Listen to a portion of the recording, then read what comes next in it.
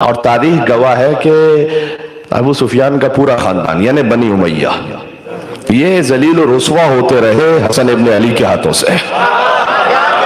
चाहे वो दरबार हाकिम शाम हो। अल्लाह जाने कितनी मंजिलें जो मैं आपको सुनवाऊं और गिनवाऊं कि जब एक मंसूबे के तहत इमाम हसन सलाम को बुलवाया गया दरबार में और पहले से कुछ प्लांटेड लोग मौजूद थे कि जिनमें से हर एक से ये कहा गया कि तुम बनी उमैया की शान पढ़ोगे। और इमाम हसन सलाम जब दाखिल हुए और उन्होंने अपने आबा अजदाद और बनी उमैया की शान पढ़ना शुरू की और उसके बाद इनके दिमागों में ये था कि इनका बाप ये तो खाक नशीन था, हसन मुस्तफ़ा ये क्या कहेंगे अपने बारे में? इनके पास तो माले दुनिया में से था नहीं कुछ। तो हाकिम शाम ने कहा कि अय हसन, तुम भी कुछ कहना चाहोगे? इमाम हसन इस्लाम ने फरमाया कि, खुदा की हम सना इस बात पर कि लो कुन तो अलाहाजल मकाम हौलन फ़हौलन, अगर मैं रुकूं इस मकाम पर, एक दो दिन नहीं, साल हा साल। फाज करो माता नहीं अल्लाह मिन फजल, और मैं वो बयान करूँ जो अल्लाह ने हमें अता किया है। तो लम्हों से है, साल ख़त्म हो जाएँगे, ज़माना ख़त्म हो जाएगा, वो ख़त्म नहीं होगा जो अल्लाह ने हमें अता किया है। फिर इमाम ने कहा, इमाम हसन मुशतबा वजुल्लाई चेहरे पर सुर्खी जलालत है और लहसानुल्लाही लहजे में इमाम हसन मुशतबा अली का बेटा बोल रहा है। और कहा पहली बात तो सुनो, तुम जन्नत में चले जाओ तो बड़ी बात है, जन्नत की जीनत है तो हम है। अल्लाह ने जब जन्नत को खल किया है ना, ये इमाम सुनिएगा जुमला। जन्नत को जब खल किया अल्लाह ने तो जन्नत ने एक शिकवा किया। तारीख मतलब रिवायत है, जन्नत ने शिकवा किया कि ज़्यादातर ज़यीफ और फकीर लोग तूने मुझमें रखे। अब जो ज़्यादातर बड़े बड़े होंगे तो जन्नत की जो हमसाई है। बड़े बड़े ज़्यादा प्रोटोकॉल वाले लोग, ज़्यादा अब सारे तो नहीं, लेकिन बड़े बड़े मौलवी हजरात। वो के जो अहल बैत के मकाम और मनसब, उनकी मारिफत नहीं रखते, ये मारिफत रखते हुए झुटलाते हैं। अब वो कितना ही बड़ा मौलवी क्यों ना वो तो जहन्नम में ही जाएगा, वो क्या जी। तो तो जन्नत ने शिकवा किया शिकवा किया, कदस्कन तनी में नफ़ा वलफ़रा ज़्यादातर ज़यीफ़, मिसकीन लोग आएँगे मुझमें। परवरदिगार ये क्या बात है? तो अल्लाह ताला ने कहा कि कद जयन तो की मिनल हसन वल हुसैन। क्या तू इस बात पर राज़ी नहीं है कि मैंने तुझे हसन और हुसैन जैसे शहजादों से जीनत अता की हुई है? फमासतिल जन्ना कमा तमीसुल उरूस। तो जन्नत अपने हुसन पर ऐसे इतराने लगी जैसे दुल्हन अपने हुसन पर नाज किया करती है। कि अल्लाह ने मुझे हसन मुशतबा से जीनत अदा की है। हाँ हुसैन मजलूम करबला से जीनत अदा की है। तो इमाम ने फरमाया, बहुत गौर कीजिएगा। तो कि रहमान। की उज्जत हम। है उसके बाद बास तारीखों में लिखा है कि इमाम ने कहा कि अल्लाह ने मुझे ये कुत और ताकत अदा की है कि लो शे तो अगर चाहूँ तो लजाल तो इराक शाम व शाम इराकन व रजुल इमरातन इमरात रजुल। अगर चाहूँ तो मैं शाम को इराक पर उलट दूँ और इराक को शाम पर उलट दूँ। और मर्द को औरत कर दूँ और औरत को मर्द कर दूँ। हाय।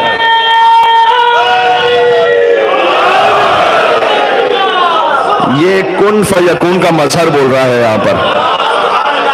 अब ये बात खत्म ना हुई थी कि मजमे से एक बदनसीब उठा। उसने कहा ए हसन, ये क्या बड़े बड़े दावे कर दिए कि इराक को शाम पे पलट दो, शाम को इराक में उलट दो? इमाम हसन मुस्तफ़ा से कह रहा है वो, और मर्द को औरत कर दो, औरत को मर्द कर दो। इमाम ने उसके जाने बैनुल्लाही निगाहों से देखा, और फमा अमा तस्तही तक उदी बैन रिजाल, तुझे क्या मर्दों के मजमे में बैठते हुए हया महसूस नहीं हो रही है?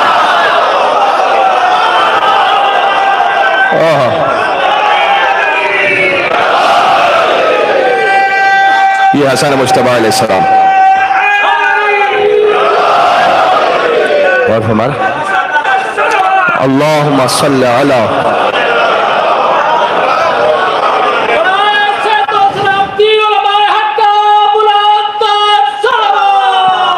अल्लाह सल अला मोहम्मद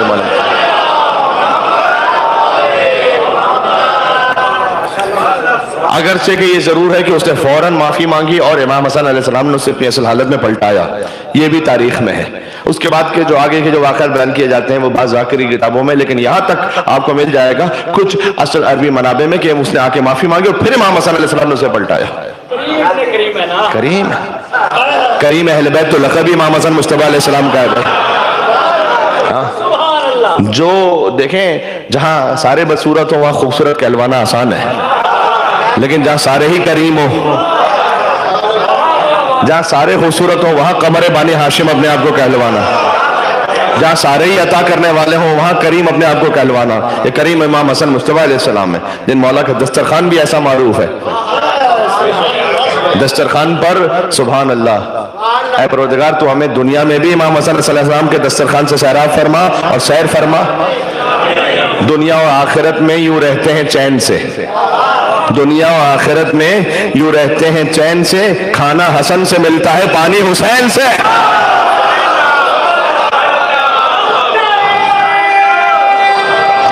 अल्लाह अकबर।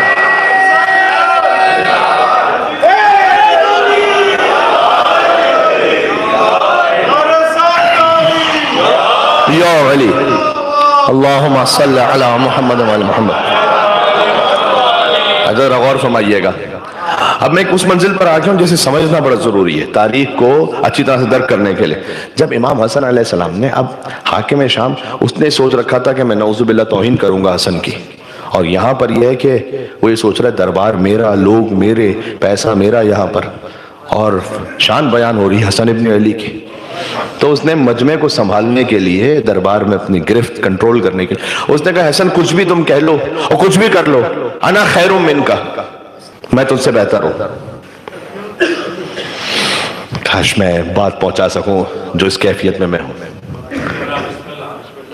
मुझ जैसा कोई कम अकल हो तो सामने पलट कर कहे, तेरी क्या हैसियत अना खैर मिन का मैं तुझसे बेहतर हूँ। इमाम हसन ने ये नहीं कहा। उसने कहा, ना खैर मिन का, मैं तुझसे बेहतर हूँ। इमाम ने कहा, माज अल्लाह नकूल अना खैर मिन का। हाय हाय हाय हाय। उसने कहा, मैं तुझसे बेहतर हूँ। इमाम हसन ने कहा, मैं तो पनाह चाहता हूँ एक ऐसे वक्त से कि मुझे कभी ये कहना पड़ जाए कि मैं तुझसे बेहतर हूँ।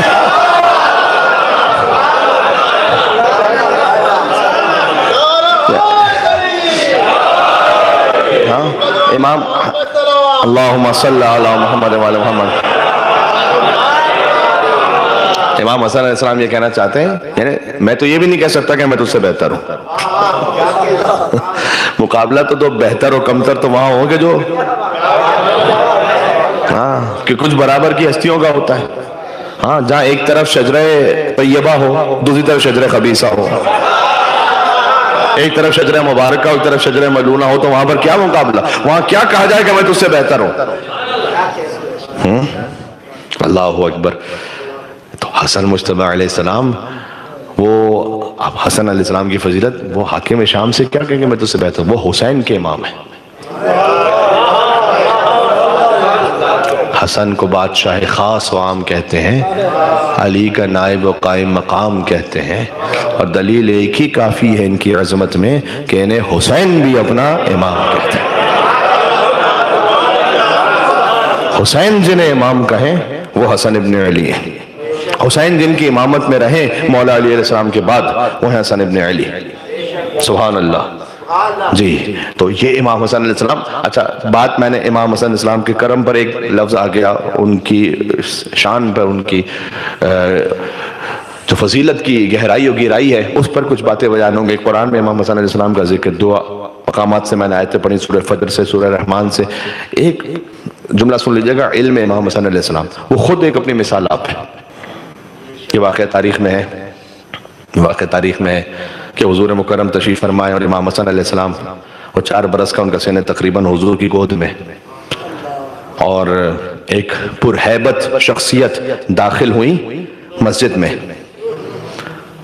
अब देखें, मसलन कुवैत में बहुत सारी पुरहैबत शख्सियतें होंगी, इसलिए कि लाखों की आबादी है। अब मदीना में उस वक्त तो चंद ही लोग थे।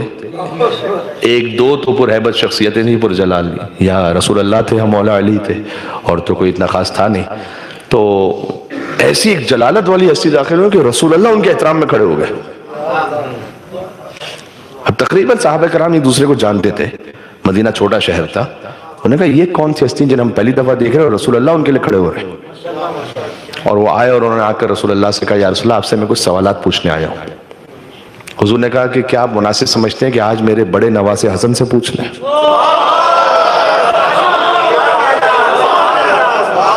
अल्लाह अकबर। देखें सिप्त अकबर इमाम हसन इस्लाम का ज़िक्र कम होता है कभी कभी होता है तो मैं चाह रहा था कि आज की गुफ्तु मनसूब रहे इमाम हसन मुश्तफ़ा से। जी। के और यकीनन इमाम हुसैन अलैहिस्सलाम आज राज़ी होंगे कि उनके बरदर बुज़ुर्ग और उनके इमाम मौला सन मुश्तफ़ा का ज़िक्र हो रहा हो। तो सुबहान अल्लाह हुजूर ने कहा कि क्या मुनासिब, अब आप जाएँ किसी इमाम जमात के पास, उनसे कोई शरी मसला पूछें। उनकी गोद में उनके नवासे बैठे हुए चार साल के नवासे। वो कहेंगे, इनसे पूछ लो।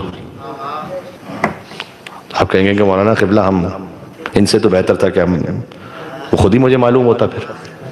मैं इनसे क्या पूछूँ? अब लेकिन चूँकि रसूल अल्लाह ने कहा है और वो रसूल की मारिफत रखते हैं कि या रसूल आपका हुक्म है तो मैं यकीनन पूछूँगा। और वो इमाम हसन सलाम को ले गए मस्जिद के कोने में और उन्होंने कुछ सवाल पूछे। और जब वापस आए तो हुजूर ने जो दाहने बहाने थे ना लोग, उनका दिमाग, अकीदा सही रहे।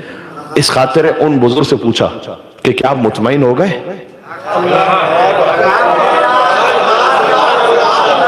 उन बुज़ुर्ग ने यह नहीं कहा कि यार रसुल्ला मुतमिन हो गया। फरमाया यार रसुल्ला वैसे ही मुतमिन हुआ, जैसे आपसे मुतमिन हुआ करता हाय हाय। या रसुल्ला मैं वैसे ही मुतमिन हुआ, जैसे आपसे मुतमिन होता था, मैं इख्ताम में गुर्तगु पर आ गया हूँ मैं। मैं वैसे ही मुतमिन हुआ, जैसे आपसे मुतमिन होता था। चले गए बुज़ुर्ग। तो साहब कराम ने कहा यार रसुल्ला वो कौन थे? वो कौन थे जो तशरीफ़ लाए थे अभी?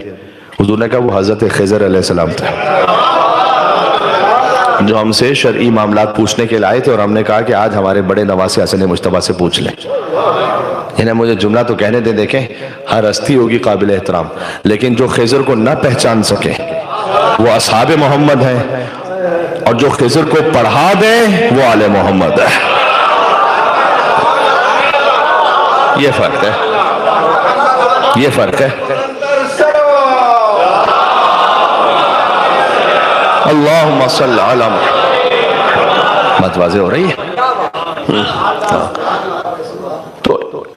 जिसका जैसे आप एहतराम करवाएँगे, हम उनका एहतराम कर लेंगे, लेकिन हसन हुसैन के मुकाबले पर कोई नहीं है।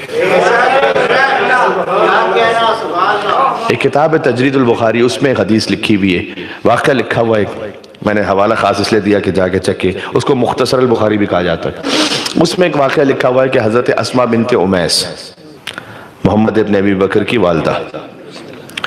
तो इनका इस्तेवाज हुआ था हज़रत अबू बकर से। तो ये आपस में तशरीफ़ फरमा थे और गुफ्तु हो रही थी कि कौन अफजल हम में से? ये गुफ्तु हो रही थी आपस में। तो हज़रत असमा बिनते उमैस ने कहा कि मैं आपसे अफजल हूँ।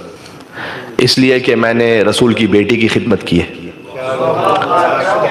तो उन्होंने सामने पलट कर जवाब दिया जो तजील बुखारी में वो सुना रहा हूँ आपको। उन्होंने कहा कि मैं आपसे अफजल हूँ इसलिए कि मैंने रसूल अल्लाह की खिदमत की है।